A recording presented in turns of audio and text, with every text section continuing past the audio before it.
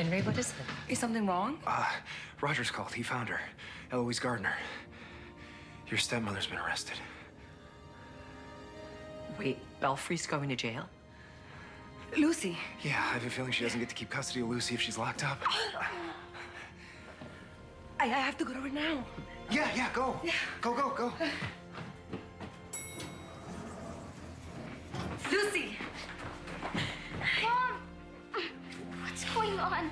No one's telling me what's going on. No, it's okay, baby. We're gonna get to go home. Well, What? Jacinda, meet Miss Scarlett with social services.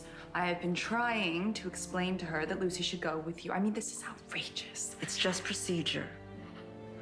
Custody was given to Miss Belfrey for a reason. Until we can review the case, Lucy needs to come with us. Into the system?